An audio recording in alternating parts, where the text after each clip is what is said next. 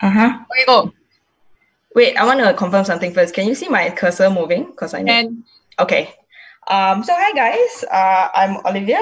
I do a lot of CSS grids for fun, not for profit. So I thought today's talk will be building a CSS grid layout. So what we're really going to do is I'm going to take a magazine layout and then sort of show you how um, usually as uh, the how the layout can be built using CSS grid. I got this idea from a Smashing conference. Um, Jen Simmons did this live. Jen Simmons is a developer advocate for Mozilla and she does a lot of CSS great stuff. And during that conference, Chris Coyier, the CSS god, uh, pretty much gave her a flash drive and then say, I don't think she has seen the layout before. Gave it to her and then say, okay, you're coding this live on stage. Um, so this is the, where the idea came from, but we're not doing it live because we're not crazy. Uh, we're just gonna pretend that it's sort of like, um, but yeah, so let's get started. But before um, I jump in uh, to the magazine layout, um, this is the very basics of CSS Grid. And it's actually very good that um, we follow after Vishak. So this is uh, a uh, thing, layout, I guess. This is the HTML. It's HTML, it's just um, part. Each of them is a div. Um, board is the parent div, and then all the others are the child divs. And if you follow Vishak's presentation closely, um, this is how you would do it in, in Flex. You display Flex. Uh, I purposely put like an absolute unit because I just want to, and then Flex and hide it. To do this in CSS Grid, it's actually only three lines. All you need, the very, very basics of CSS Grid, is just these three lines. Declare this display grid, grid template rows, which is repeat three 80px, which means like just repeat 80px three times. And then grid template columns, repeat three 80px. And what it's going to do is that as long as you have the grid laid out, so this is the grid layout layout, all the child child divs will just sort of float into its position. You don't have to do anything anymore. And even better, there's actually a shorthand. So it's actually just two lines for this. So in a way, CSS grid layout is actually very powerful in the sense that like um it just makes it easier. Um, and that's really it. So let's start with the magazine layout. So this is the magazine layout that I've chosen. And I'm just going to show you how to build the grid template right now. So this is how a designer will see, right? I guess a, front-end designer, front-end developer, whatever. When given a layout, how you're going to build it first. You put, you're supposed to build the track because you're supposed to lay out each track. So this is the one thing because you see the lines here.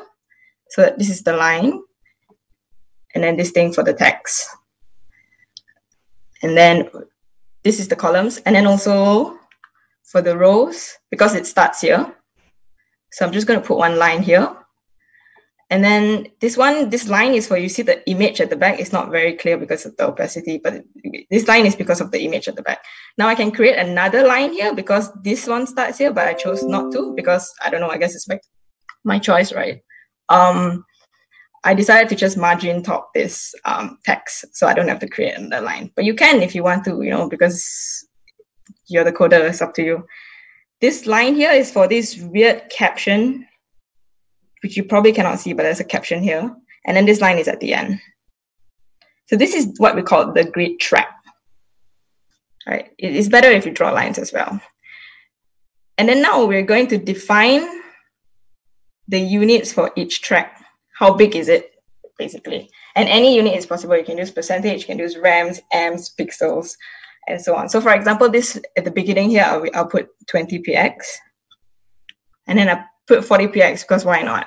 You know, um, it takes about 40% of the page, well, more like 35 actually. And then I decided to use one FR, one FR, one FR for this. Um, one FR is a new unit um, introduced for with grid. It's pretty much a fraction of the free space.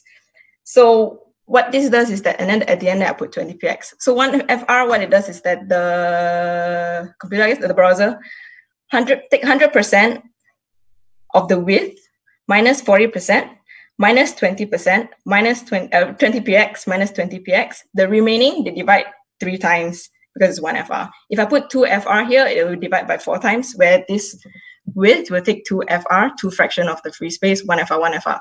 And this is very important because if you use percentage. If you suddenly have a padding here, there's the thing called grid gap. If you have a padding here, the percentage sort of messes it up and then you have more than 100% space. Um, it's not like a feeling. So, but with free space, basically the browser does the calculation for you. Um, so this is something new that you should really take advantage of if you use CSS Grid in general. Um, and then the row is uh, 2, 2 rem because why not another 2 rem? 60% because it takes about 60% of the space. And then down here, it could be 10%, it could be 10 rems if you want. I put one FR uh, for fun. So with this, you see, this is what the parent, uh, this is what you should put for the parent. Grid template rows, like 20px. Ah, this is a typo. It's supposed to be 40px. And then the 1FR, 1FR, 1FR, I can truncate down to repeat 3, 1FR, and then 20px at the end. Grid template rows, 2 R, 2 rem, 2 rem, 60%, 1FR. And this is basically all you need for the parent div. Um, ooh, sorry. But now we have to go for the child div. So what was what will happen if you just put the parent div without doing anything to the child divs? The child div, um, like if this is the first element in your HTML, it will naturally go into this little thing here. If this is the second one, it will go into this box. And if it's the third one, it will go into that box. So um, what you need to do is that you need to assign properties to the child divs to tell it where it goes. And it's very easy. But the first thing you need to do is you need to number your tracks. So like see, for example, this is number first one, the very edge will be number one. So number two, go up to number seven. And then you do the same thing for your rows, which is top one will be number one, and then at the end there will be five. And then this is where the easy thing starts. So this intro is by choice. I put all this whole thing as one, as one intro because I want to put the background white, the whole thing white. So this whole one intro, how do I place it here? It's super easy. Grid column. If I want it to start on the second second track and on the third track, I just put two slash three. And then the same thing goes for grid row. If I want to start from three and end at five, three and at five, just put three slash five. There are a lot of various ways. Um, for example, this one caption is actually over here. So four, column four, grid four. And if it doesn't span longer than this, right? If it's just one, you don't have to do the sla- um, slash four slash five. You don't have to do grid rows four slash five. You can just put grid column four, grid row four. And then even more choices. Um, this text here, grid column four, okay. And then it was only one column. Grid row two, and if I don't want to put two slash four, I can just put two span two. That means it spans two rows. The same thing, yeah, you can use the same thing for grid column as well. If it spans two columns. Um, that's if you lazy lah. Like me, usually, um, I've done CSS grids for a long time now. I don't really number all these anymore. Um, so I can sort of like guess where things will be. So I'll just put like, oh, I know this thing is going to span two columns, um, and where it's going to start. Don't want to count when it's going to end, even though it's a simple math, two plus two. Um, I, I just put span two. Um, and then text two is even more options. You see this is negative three, it's basically count from the end. Grid column, um, so this will be negative one, this will be negative two, this will be negative three. But I can put grid column negative three, two, negative two. This is also our laziness because sometimes, because I don't, like I said, I don't number my columns anymore. Um, so sometimes I just say like, oh, I know it's just going to be the last column or the second last. So it's just going to be negative 3 to negative 2 or negative 2 to negative 1. Um, a very good hack as well, if you want something to span the whole thing, you can put grid column 1 slash negative 1. So it always take the full width. Um, and particular is very useful just um, sometimes you, you change your parent tracks. Um, if let's just say if I put 1 7 here and then realize I actually got one more column that I missed. If I change my parent track, then I need to change 1 dash 8 here. But if I put one dash negative one, they will always change and I don't have to worry about that. So, and then grid row two, span three columns. And this is the last one, image at the back. It starts with uh, in grid row two, if you can see, and at grid row five. And then column, um, if it's at the its right place, you don't even need to um, identify where to start because it was this one is going to start at the first column. So I just tell it to spend five.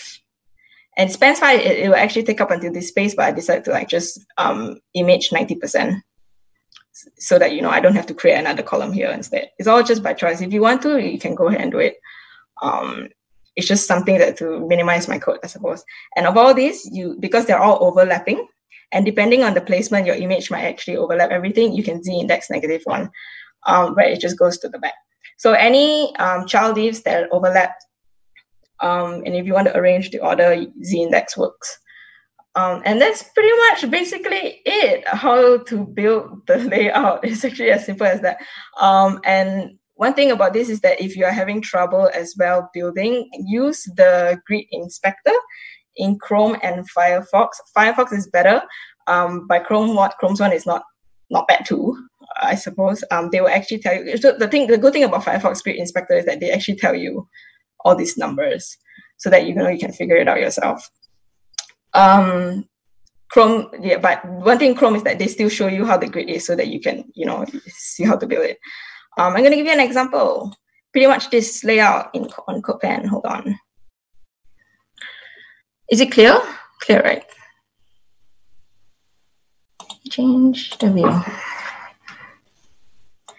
So I think this is the main uh, positive I feel about CSS Grid where this is my HTML and I don't want the HTML to run here and there because it's not even, if you, if you remember the layout, the caption was in a very weird place. So the caption I might have to put at the bottom if I were to use flex for, ex- flex, for example. But I want it to be more semantic because that's what article is, right? If you look through a screen, what screen reader, reader mode, um, this is what it is: the title, the blurb, the image, um, caption, and then the text. And if you apply what I the, the properties that I showed just now in just that two slides, this is what it's gonna be. Uh, it magic, I suppose. Okay. Um, and and then there's an even better thing. So this is using pixels and then it's slightly responsive. So you see this thing, remember it was one, one FR, one FR, one FR. This two, this first column, second column, and the last columns was pretty fixed in a way that is 40%. This will never change. This one was 20 pixels, this one was 20 pixels. So as you go closer, most of them don't change much. And then this one FR, like the free space is distributed between these three columns. And then at some point, you see this overlap thing. There's actually this amazing thing. Instead of one FR, especially for text, well, only for text especially, you can use this element called, the, this unit called CH. It actually means characters. What you do is that you determine the number of characters here. So I think this one I put min max bracket 25 CH. That means that I don't want the div to shrink anymore if it reaches 25 characters, maximum 45 characters. That means that if you reach 45, don't open anymore. This one was 0.1 FR, this one was 1 FR, I think, and this one was 0.1 FR. So what's going on here is that I'm going to show you the grid. So this is normal, right? This one is 45 CH. And then as it goes closer, the 45 CH remains because it is what it is. And then only the FR ones, which is this first one, this middle one here, and this last one here, will shrink because FR is just free space. And what it's telling is that is the free, free space is getting smaller, so it's slowly closing in. Ta-da. And then after that, you realize that it's no more free space already, then only they start to shrink the one on the right. Yeah, and, but obviously at, at this point, you do another breakpoint now, ah, and then do another grid or maybe just block block it. So that's the um, value, uh, this new thing as well, CH, um, that you can use especially just for text. Mm -hmm. And then let me go back to this. Okay, wait, okay. Um, a few tips to do your CSS grid. Um, use colored backgrounds to build a grid template. Um, it's just much easier to see. You can use the grid inspector as well, but you know sometimes when you open up the inspect element, there's very little space um, to see your main browser. So this is, um, I think, the one of the easier ways that I found to build grid. So like as you can see, this is actually the grid for the back. Um, things that you should know with grid, you can use the same flexbox properties for CSS grid. So whatever that you saw on Vishak's video, align items, justify content, align self, justify self. There's so many, uh, try what to get whatever you want. Um, everything works exactly the same as CSS grid for CSS grid uh, properties. You should know number two, the centering items in the div is now two lines, is an upgrade from using display flex, which was three lines. Um, but this one, place item center, is um, just a truncated version for align items center and justify content center. Justify content center and probably align content center. Yeah, it becomes place item center. So now it's just two lines if that's what you fancy. Um, although to be fair, using flex is not a problem here. And you, I showed the easiest version where you, you use numbers because I think it's um, that's what you should use um, if you're getting started uh, with CSS Grid. But as you learn more about the fundamentals of CSS Grid and you want to use it in real world production, I think this is the this value. This is where this comes in. Um, is it's very good value. You can name your tracks. So instead of grid, just this is a this is a child div. Instead of grid row three dash five or like grid row span five, you name it grid area header because that's what it is, right? So this most likely would be like header grid area header. And then when you use it, you still need to define grid template rows and grid template columns, but there's this thing called grid template areas where you said you name header, header, header, you use the grid areas name instead of just numbers. And it's very useful because it literally gives you a visual representation of what your layout is. And then your next developer in is they're not so confused uh, why you use grid. And then um, like a lot of my projects, I use numbers because my projects are super small. But I can imagine in a website where there's a lot of huge layouts, um, this is where it comes it becomes very handy. So what it says is that because I this assuming this thing will have three columns, so one, two, three, it has five rows. So when you say header, header, header, you're just telling um, the browser to say um, this header will take up the whole space. Take up three columns on the first row then main, main, sidebar, main, main, sidebar, main, main dot if you don't want the sidebar to expand. So the sidebar will actually stop here in this grid track. And then the main will go on. Why like that? I don't know lah. Maybe your designer feel like that's the way she, uh, he or she wants to do it. That's it. and then footer, footer, footer. Um, again, very useful just to show you how the website should look in general. Um, and then, you know, you can just build it like this. So Flexbox or Grid? Um, this was a question that came out, especially two years ago, was very prevalent when CSS Grid became more popular, and then a lot of devs were like, "Why are we doing it? Grid Flexbox was enough because Flexbox was such a step up compared to what we were uh, previously using, which was floats, um, and Flex was amazing. And then there was this argument like Flexbox versus Grid, Grid, and the correct answer is not one or the other, but it's actually both um, they have it their own value in each um, whether which one that you want to choose um, i guess the question is yeah I use both in a project but when to use which um, vishak's video actually touched a little bit use the flexbox at, um, where you don't know how big or how small a certain thing is, like the child is. So you just want it to be flexible because that's what it is, right? Flexbox. Um, when you need to arrange multiple items in a single row or column as well, is uh, very recommended to use flex because single row, um, not confusing. Uh, you know, flex one, flex one, flex one. That's it. Um, use grid when you need to arrange items in multiple columns or rows or for layouts, unless it's really simple, like two one, where you can just flex box, flex two, and then flex one but it is a very complicated complicated layout like the magazine layout that I just showed. Um, definitely, definitely use grid. Um, and this is actually a real world example that I made into simple boxes um, that I did for a client. What is going on was that in the mobile version, the design was that this was ABC, a normal order, it will be a display block. But if you do it on desktop, suddenly the order changes. A and C is suddenly on this left sidebar, and B is here. And at the time, this was three years ago, I think, and I didn't know. Well, I didn't know the solution, the proper solution. If I were to use Flex, I had to contain these two in one div, and then this in its div on its own. But then it doesn't work uh, because this is this is not the order is different. And then if I use flex on the other way, if I put this thing first, item C will be down here instead. And then I need to use JavaScript to calculate the height and then like margin top negative 150 pixels or something. So this was actually my first real world application of how grid uh, pretty much just solved my problem. Um, this was display, no need to grid, but it, no need to use anything, just display block. But then if I, when I, uh, on desktop, I apply display grid, and then I just place the items where I want to place. Um, yeah, and that's just pretty much it. So, but, oh yeah, and then there's a question. So my general rule is, if layouts use grid for sure, because anything not layout, if I use grid, I feel is very overkill. But what if this scenario, right? What if this designer came to me and this was a card instead, like a media card? You know, like for example, if she wants to put a text here, this is the image, this is the CTA button. And then suddenly in desktop, don't know why, uh, if she, she feels like it, this is the, the text, this is the image, this is the CTA button. Then I'll still have the same problem. And I say that would I use Flex uh, or Grid in this situation? Even though it's a media card, it's like a smaller component, right, in a, in a very big project.